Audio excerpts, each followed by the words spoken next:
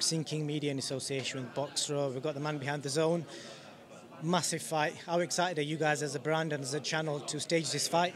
Really excited, and I think, as I said up there, I think there aren't many opportunities that boxing presents to uh, cut through and reach a, a, new audience and a broader audience than traditional boxing fans, and this is definitely one of those moments. Um, so everyone at DAZN is very focused on using the next two months to to maximise the opportunity and reach as many fans and sports fans as possible so that come April the 30th in the UK, Ireland and the US, the audience is as big as it possibly can be. Obviously, women's boxing is still kind of new. Uh, how much of a risk was it as a, as a, company, like financially, to you know throw your money at it and, and roll the dice and you know try and build it? Uh, look, we, have been in boxing, in women's boxing, since we, we, we launched DAZN as a boxing platform.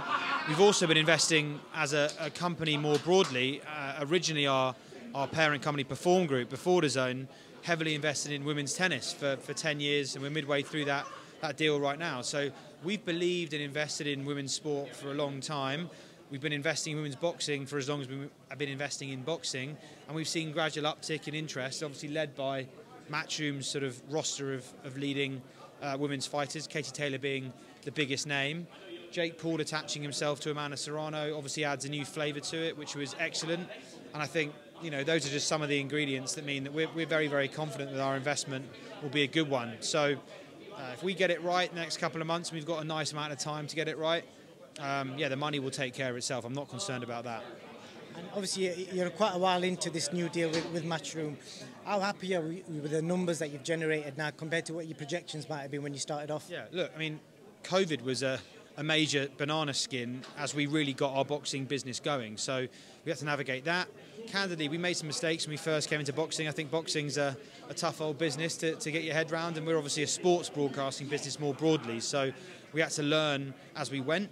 But I think the last couple of years, we've we've really sort of um, honed those learnings, and our boxing business financially and from a, you know, every metric we look at is in the healthiest place it's ever been in. So um, I'm really excited about that, as are the rest of our management team. And uh, yeah, that allows us to be more confident in making investments in different countries of the world, in different fights, in bigger fights, uh, and different kinds of fights too. So, um, yeah, well, our boxing business is in a great shape. Uh, sometimes to make the big fights, you've got to work with different promoters. Is that something DAZN are looking at? Because there's loads of like small hold promoters in the UK, and I'm guessing there's loads in the USA as well. Is that something you're considering? Yeah, we always we're door open for business, right? Anyone can contact us and present opportunities. But look, I think there is value in simplicity, and we work with two primarily two very, very strong um, promotional partners. Obviously, Matchroom have a, a, base here in the UK. Eddie very keen to grow the business internationally. He's increasingly adept at promoting in the US.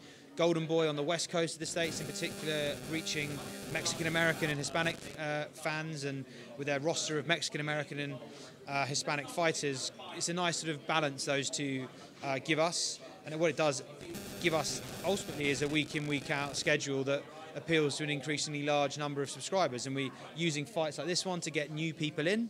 When we get new people in, we're pretty good at keeping them because the content we serve them, both live fights and on, de on demand content, original programming, um, is very, very strong. And we've built that up very, very nicely, even through the challenges of COVID. So that all, all that means that our, our, boxing business is very strong, and yeah, that's what I'm paid to build. So I'm happy about that. Talking numbers, obviously the whole business is a numbers game. So uh, how disappointing was it to lose out the Tyson Fury Dillian Whyte uh, show? Well, not disappointing because we didn't really expect to get it in the first place. I think Eddie's been on record in the last week or so talking about why. Um, why we weren't particularly confident going into that purse bid. We clearly put down a big number. If we'd won, it would have been the biggest purse bid win of all time. But there's many, many fights in the heavyweight mix that could that could be made. Um, I'm glad, even though we haven't got it, that Fury Whyte is happening because it means that fights like that that we can get our hands on will start happening. It's true of the lightweights, everything around George Kambosos and Ryan Garcia and Devin Haney. I think Katie or, or Amanda said it up there on stage. Women's boxing is better at making big fights than men's boxing. So actually, the rest of the sport could learn from the two ladies and their promoters up here today. Let's just get the bullshit out of the way and let's focus on making big fights. Fury and Whyte have done it.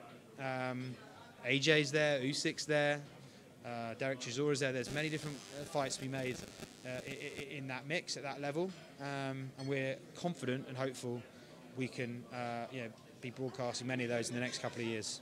I can imagine you obviously pressuring Eddie to try and get the big names. The guys that drive the subscribers like Canelo and obviously potentially Fury, how much pressure is there on Eddie to deliver Canelo's next fight to DAZN?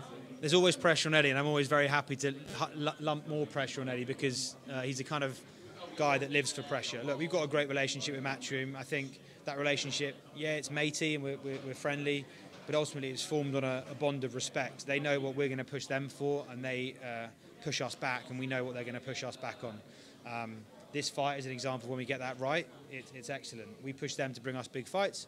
When they bring them to us, we invest in them, not only in the rights fee to pay the fighters, but in the marketing and everything around it. So, um, yeah, it's a healthy, respectful relationship that occasionally requires a bit of a push, but that's what a good working relationship's all about. Last question, John, before I let you go. If you did win the, uh, the purse at 30 odd million for Fury, why, do you think as a business you would have recovered that money back? Yeah, I would have done. We would have done because the the interest in that fight is, is big. I think, being honest, knowing what I know about the modelling of boxing events and the forecasting of them, I think 41 is probably a push. Um, but hey, that's not my business. That's that's for them to, to push, and who knows what they'll actually end up paying the guys for it, um, based on you know how these things work. They may have agreed stuff before the purse bid, but uh, look, we don't put numbers down unless we're confident we can make uh, uh you know a healthy return on it, a fair return. Um, I think we're focused on delivering consumer value, and we've done that consistently over the last four years in boxing. John, thank you so much and appreciate your time. Nice to meet you, mate. Thanks.